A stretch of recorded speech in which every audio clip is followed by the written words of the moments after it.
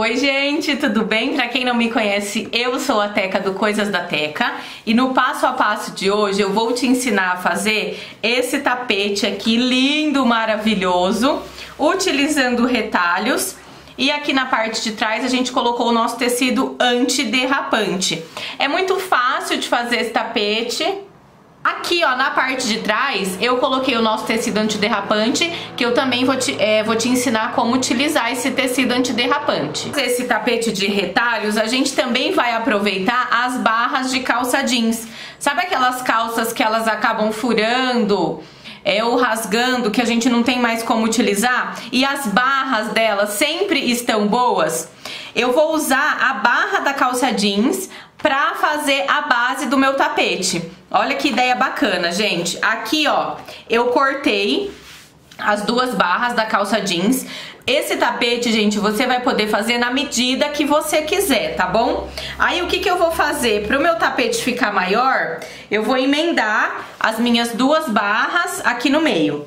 Nós também vamos precisar de diversos quadradinhos. Aqui eu tô utilizando na medida de 10 por 10, mas você pode utilizar na medida que você quiser.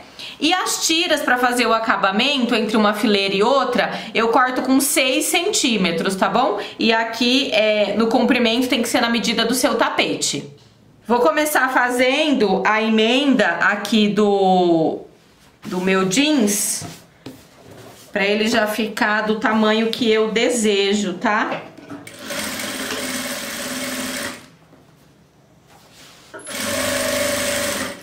Olha, gente, então eu emendei a base do meu tapete, ela vai ficar assim, tá? Aqui não tem uma medida, você pode fazer na medida que você quiser.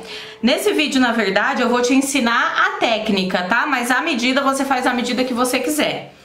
Pra começar, ó, aqui da, da, da parte superior aqui, eu marco 6 centímetros e passo um risco, porque é daqui que eu vou começar a costurar o meu tapete. Aí eu vou fazer o que? Vou pegar os quadrados é, de tecido e nós vamos dobrar. Como que a gente faz essa dobra? O quadrado tá aqui. Eu vou dobrar essa ponta com essa ponta, ó, vai ficar um triângulo, tá vendo? E vou dobrar ao meio novamente. Eu vou ter isso aqui, ó, esse triângulo pequenininho, tá vendo? Eu vou ter isso aqui. Deixa eu prender com alfinete aqui e vou mostrar outro para vocês verem. Quando vocês estiverem fazendo os tapetes de vocês, se vocês quiserem deixar os triângulos todos dobradinhos, também pode. Ó, peguei um outro quadrado, 10 por 10, vou dobrar aqui ao meio, vou ter isso aqui, um mini triângulo, e dobro aqui ao meio de novo. Vai ficar assim, muito fácil, né, gente? Eu acho que deu pra entender, mas eu vou dobrar mais um pra não ficar nenhuma dúvida. Quadrado, ponta com ponta, vai ficar assim e ponta com ponta de novo. Ó, a gente vai ter isso aqui. É com isso aqui que a gente vai é, fazer o nosso tapete, tá bom? Eu indico pra vocês, é, primeiro cortem todos os quadrados e depois vem dobrando, já deixa tudo dobrado e depois só vem costurando. Ó, gente, agora aqui na máquina a gente vai começar a costurar. A gente vai pegar aqui o primeiro triângulo a pontinha do triângulo a gente deixa aqui na pontinha do jeans, saindo meio centímetro para fora. A gente posiciona aqui e costura. É uma costura reta, não precisa ser uma costura é, com pé de máquina, pode ser mais na pontinha. Aí quando chegar mais ou menos aqui no meio do meu, tri, do meu triângulo, eu pego o outro triângulo que tá aqui posiciono aqui e continuo costurando. Ó, acho que dá pra vocês verem. Cheguei aqui mais ou menos no meio, posiciono aqui e costuro. É muito fácil de fazer, no começo parece que não é tanto, mas vocês vão ver que é bem facinho, ó, tirei aqui pra mostrar pra vocês. Ó, aqui costurei até o meio do meu triângulo, tá vendo?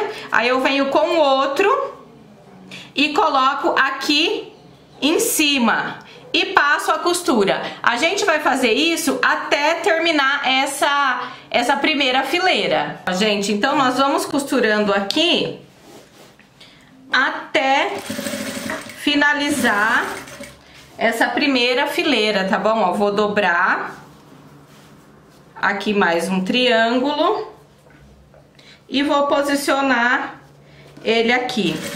A distância aqui entre um e outro, você pode fazer também ele mais juntinho. Eu prefiro assim, mais separadinho, porque eu acho que fica mais bonito.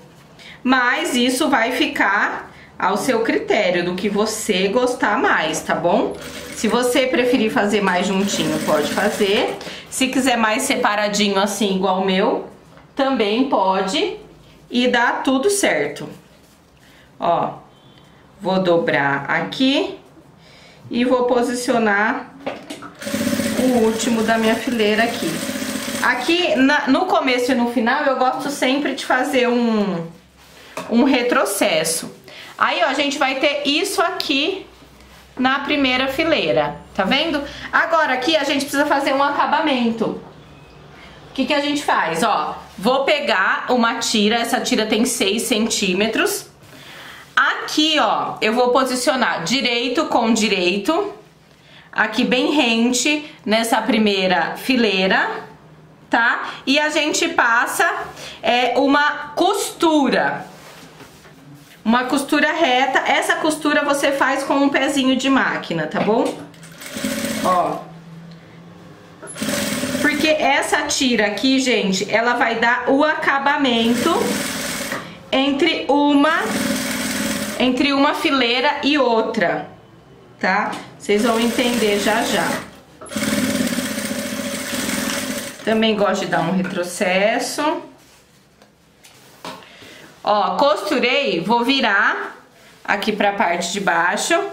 Tá vendo que já fica com o acabamento essa primeira essa primeira fileira. Agora aqui eu passo uma costurinha na pontinha, só para prender esse tecido e facilitar é, a montagem da próxima fileira de retalhos.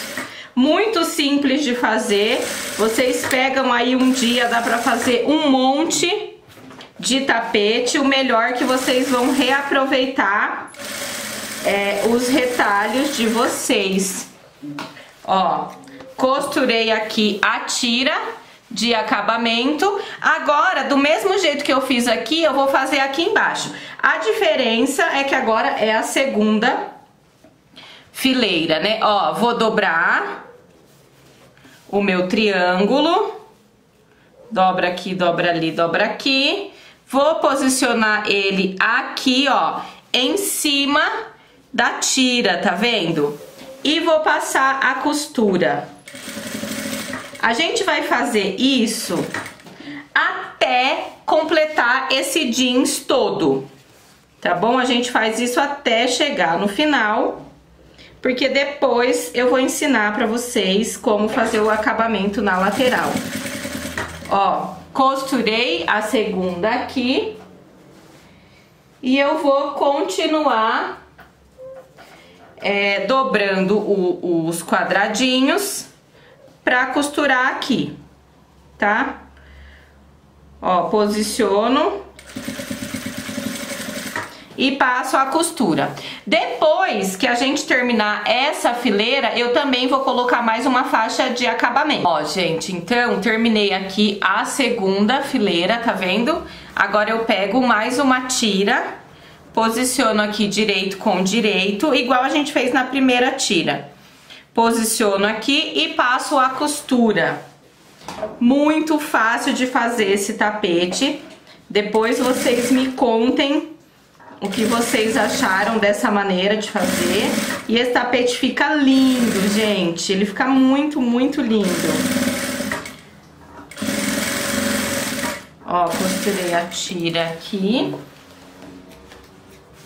Agora eu dobro, viro ela aqui pra baixo e passo a costura aqui. Eu gosto de passar essa costura é, porque eu acho que dá mais segurança.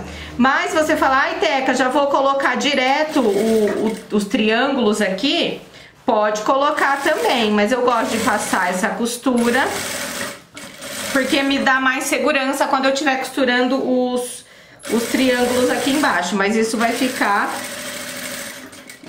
a seu critério, tá bom? Ó, gente, então dessa mesma maneira que a gente fez nas duas fileiras, a gente vai fazer no tapete todo. Gente, então eu fiz, ó, a extensão toda, tá vendo? Quando chegar aqui nessa última fileira, a gente vai terminar com o tecido, tá? Sempre termina aqui com o tecido pra ficar melhor o acabamento. Ó, eu vou costurar a última tira aqui.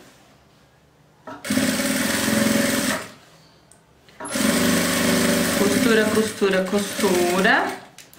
Essa é a última tira, tá? Aí a gente vira ela aqui pra baixo passo uma costura. E depois disso, o que, que a gente vai fazer? Vou mostrar aqui na parte de trás. Fica sobrando um monte de tecido, tá vendo? A gente vai recortar todas essas sobras de tecido de todos os lados. Vamos acertar todos os lados para ficar bem retinho. Olha, gente, cortei todo o excesso de tecido de todas as laterais, acertei. Na parte de trás fica assim, Cortei, gente, o tecido antiderrapante na medida aqui do meu tapete, na medida que ficou o meu tapete.